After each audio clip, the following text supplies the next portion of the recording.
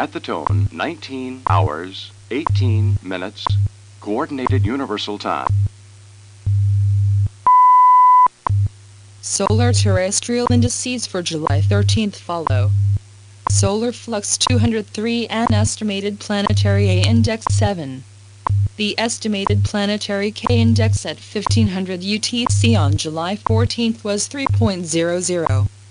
Space weather for the past 24 hours has been minor.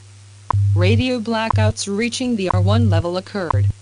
Space weather for the next 24 hours is predicted to be minor. Geomagnetic storms reaching the G1 level are likely. Radio blackouts reaching the R1 level are likely.